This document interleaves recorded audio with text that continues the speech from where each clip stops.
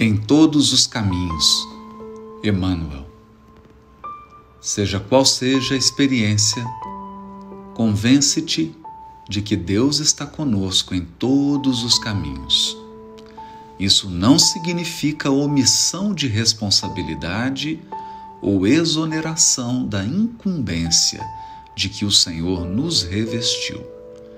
Não há consciência sem compromisso como não existe dignidade sem lei.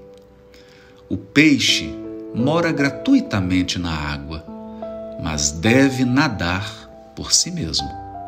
A árvore, embora não pague imposto pelo solo a que se vincula, é chamada a produzir conforme a espécie. Ninguém recebe talentos da vida para escondê-los em poeira ou ferrugem nasceste para realizar o melhor. Para isso, é possível te defrontes com embaraços naturais ao próprio burilamento, qual a criança que se esfalfa compreensivelmente nos exercícios da escola. Criança atravessa as provas do aprendizado sob a cobertura da educação que transparece do professor desempenhamos as nossas funções com o apoio de Deus.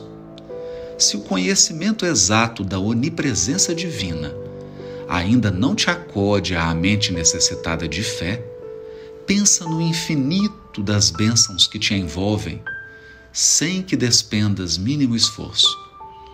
Não contratastes engenheiros para garantia do sol que te sustenta, nem assalariaste empregados para a escavação de minas de oxigênio na atmosfera, a fim de que se renove o ar que respiras. Reflete por um momento só nas riquezas ilimitadas ao teu dispor nos reservatórios da natureza e compreenderás que ninguém vive só. Confia, segue, trabalha e constrói para o bem e guarda a certeza de que, para alcançar a felicidade, se fazes teu dever, Deus faz o resto.